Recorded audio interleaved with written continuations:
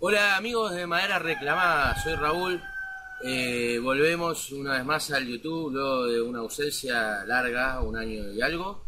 Eh, bueno, les cuento un poco, he tenido muchas preguntas y tal. Este va a ser un video introductorio. Vamos a arrancar de vuelta con videos de forma semanal, espero, o quincenal, como mucho.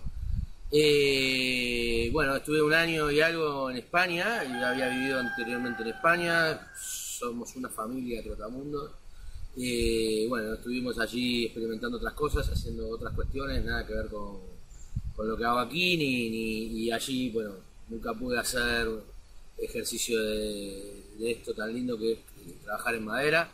Eh, llegué a comprarme alguna herramienta, pero bueno, al final no, nunca tuve el tiempo necesario. Ahora, bueno, he vuelto aquí. Mucha gente me pregunta qué es este lugar donde estoy o de dónde soy. Soy de Uruguay.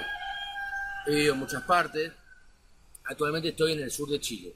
¿Eh? Esto se llama Mar del Cabuello, es un lugar en la Araucanía chilena, eh, es un entorno natural impresionante, como pueden ver, un bosque impresionante, tengo ruido de fondo permanente, por el, ya sea por el río, que pasa ahí acá dos metros de mi casa, o las gallinas que tengo detrás por ahí cacareando también, mis hijos que salen a veces de forma voluntaria, pero esto es un pateo fuegos. Este, para todo eso, eh, en esta nueva etapa voy a cambiar un poco las cosas, voy a dejar de trabajar tanto afuera, aunque siempre voy a seguir trabajando afuera porque me gusta. Este, voy a armar un taller que nunca tuve. Este, y de, todo esto va a empezar un poco más la reclamada. Igual voy a empezar con algunos proyectos sencillos. La idea siempre es la misma, la básica, la de hacer cosas lo más simple posible, con la menor cantidad de herramientas posible, eh, sin tanto glamour, sin tanto lujo, cosas prácticas que uno pueda replicar en su casa o hacer en su casa, ¿no? Esa, esa es la, para mí la premisa. No me sirve de nada ver a alguien con herramientas Festool y que tenga una cepilladora, una de esto, una de la otra, lo otro, porque yo no puedo hacerlo así. Entonces trato de hacerlo de la forma más básica posible eh, pero que quede bien, medianamente bien el trabajo para que bueno, la gente que como yo no tiene los recursos para comprar las mejores herramientas del mundo o una gran cantidad de variedad de herramientas, lo pueda hacer con pocas. Eh, en cuanto a las herramientas, yo siempre recomiendo tratar de tener pocas, pero buenas, de buenas marcas, que sean de uso profesional, esto es súper importante.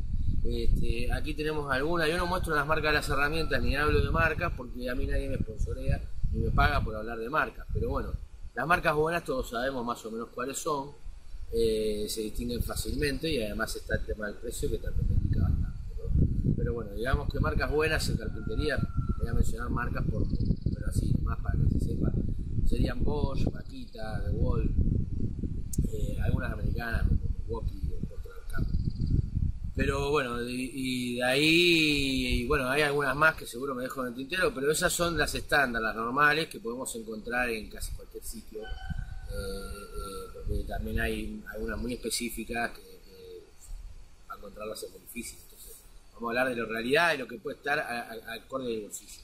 Entonces, en vez de tener tres taladros, pues tener uno. Yo, por ejemplo, elijo tener un taladro de baterías y un taladro normal. Y con eso estoy.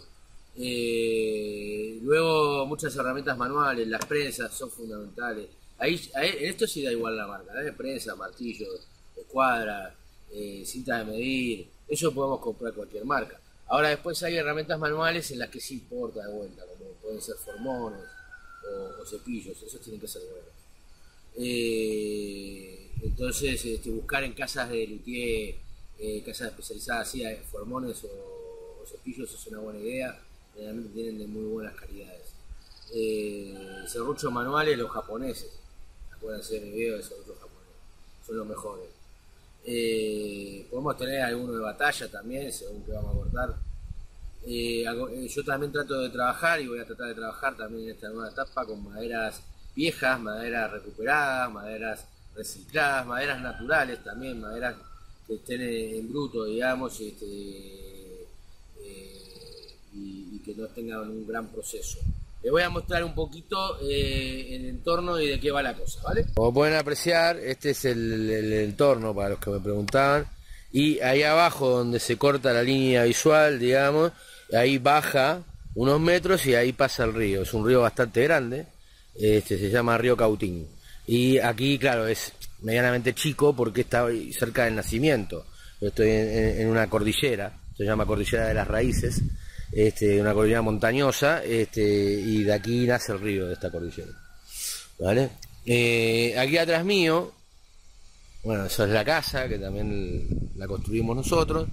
Este, esto es un galpón, ¿verdad? Que yo tengo eh, de, tiempo, digamos, que fue el, galpón alias leñera, alias para dejar de todo un poco, alias, bueno, aquí tenía un intento de mesa de trabajo que hice en un momento, pero bueno, este galpón, digamos, fue algo hecho muy improvisado en su momento y no tiene ni piso, o sea, está con...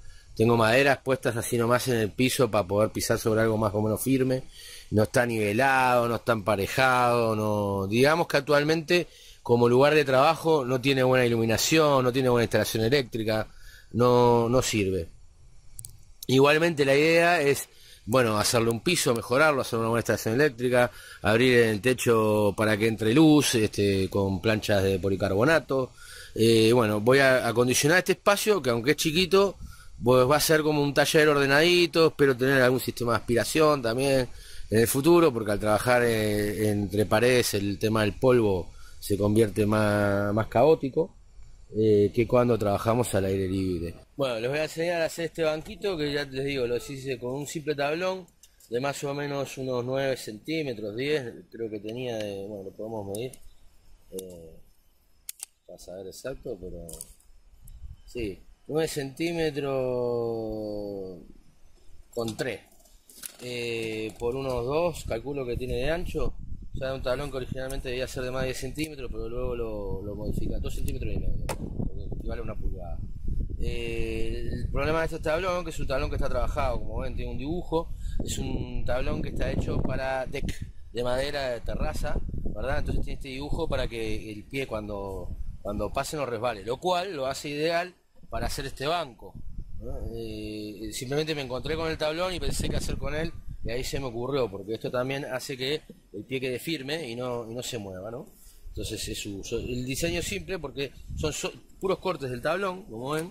Con uno hacemos el, primer largo, con el otro hacemos el segundo altura, con el otro hacemos los tablones y atrás lleva otro de refuerzo. Eh, eh, es muy simple, muy sencillo, lo vamos a ver en el próximo video de manera reclamada. Este era un video introductorio para contarles un poco del tema y de cómo va a arrancar el canal. La semana que viene, lunes que viene, voy a tratar de que sean los lunes los videos. en este primer video de la nueva etapa de manera reclamada no vamos a tener nada de serrín, de ruido, de sierras, de cortes. Eh. La carpintería básicamente es cortar, pegar, atornillar y lijar. Son como las partes, no sé si pudiéramos definirlo. Eh, al próximo video sí, ya vamos a empezar haciendo el banquito este y luego ya espero estar metido en la, obra de, construir el taller y, ir alternando con otros proyectos pequeños eh, de cosas más que nada, necesidades que tengo ahora en la casa, acabamos de llegar después de un año y algo afuera. Eh, muchas de las cosas cuando nos fuimos las regalamos o, bueno, ya no están de alguna forma. Eh, así que bueno, ahora toca hacer de nuevo algunas cosas y, vamos a estar metidos en distintos proyectos de acondicionar la casa, o proyectos de hacer macetas, eh, o proyectos bueno, de hacer juguetes para los niños, de columpio, hamaca. Espero que les haya gustado, espero que bueno, que en realidad este video no vieron mucho, pero que se unan a los próximos videos para ver más o menos cómo viene la nueva etapa de manera reclamada. Y bueno, espero que estén ahí, que nos apoyen, que den like, que comenten como siempre y voy a estar más, más en contacto con ustedes, voy a estar más cercano, contestando los, comentarios y tal, ahora que tengo más tiempo. Lamentablemente este más fue grande, esperemos que bueno, que, la nueva etapa arranque con fuerza y no pare. Un saludo a todos, y un gracias enorme a todos los que en este tiempo han comentado, han estado ahí, han participado que ha mantenido los videos y el canal vivo. Y nada, eso, gracias. Simplemente nos vemos el próximo video.